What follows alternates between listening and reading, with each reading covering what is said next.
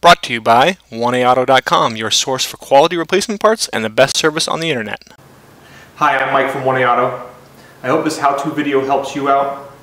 And next time you need parts for your vehicle, think of 1AAuto.com. Thanks. Alright, so on the way in today, I hit something that had a nail in it, uh, and it flattened my tire. So I'm going to plug it. Um, obviously the wheel's off the vehicle, but you can do this when the, the wheel and tire are on the vehicle.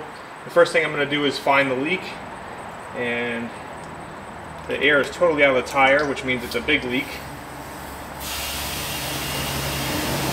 So I'm just putting air in the tire.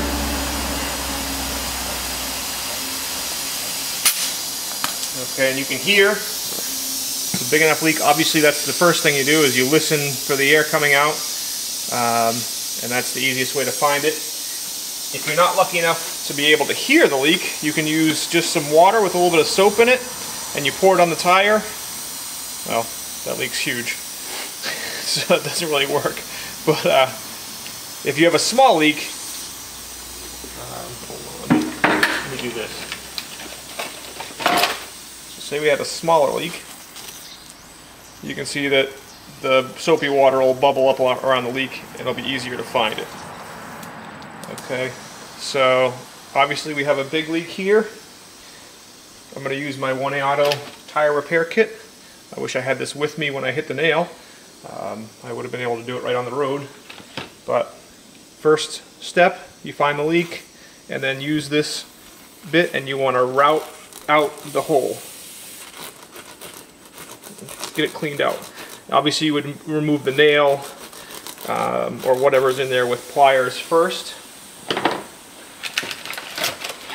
Then we're going to take our other handle, which is the threading needle, and our repair.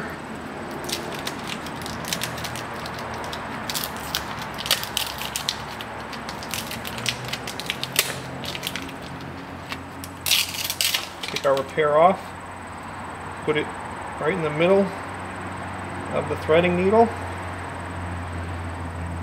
This is some rubber cement solution. I'm going to coat the repair with it.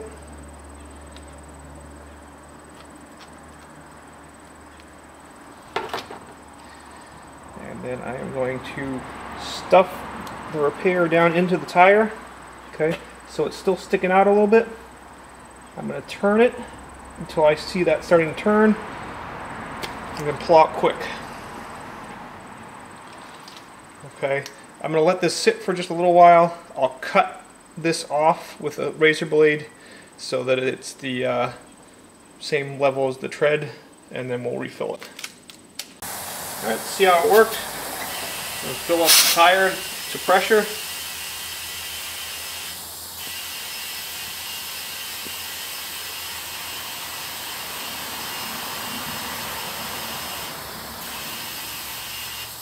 We're at 32 psi. I don't hear anything, which is good. A bit of soapy water. And I don't see anything. So, take a pair of pliers. I'm just going to lightly pull up on the plug just to give myself a little room and kind of just keep it steady. Trim off the excess.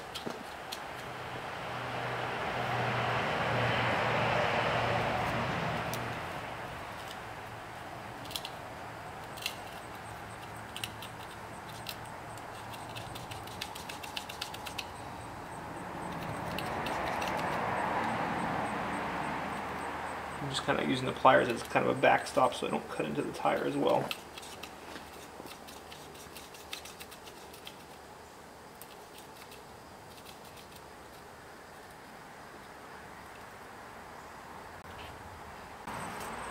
And then as you as the tire wears down, the plug will wear down as well. We hope this video helps you out. Brought to you by 1AAuto.com, your source for quality replacement parts and the best service on the internet. Please feel free to call us toll free 888 844 3393 with a company that's here for you on the internet and in person.